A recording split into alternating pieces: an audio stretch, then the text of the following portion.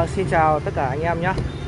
Ờ, hôm nay tôi giới thiệu cho anh em ờ, một ờ, sản phẩm mới của Quinet nhé.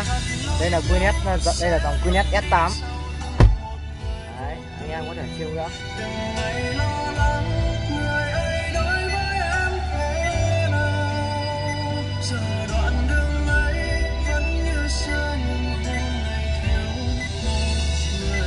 Mình review luôn trên xe của nhà luôn cho nó dễ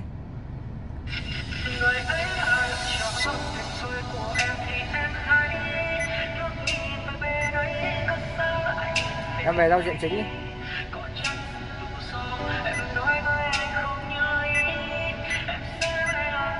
Rồi. Đấy. anh em nhìn thấy chưa? Rất là đẹp nhá. Mắc phê luôn nhá.